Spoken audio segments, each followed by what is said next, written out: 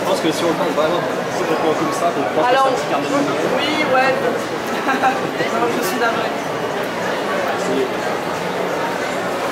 Pardon.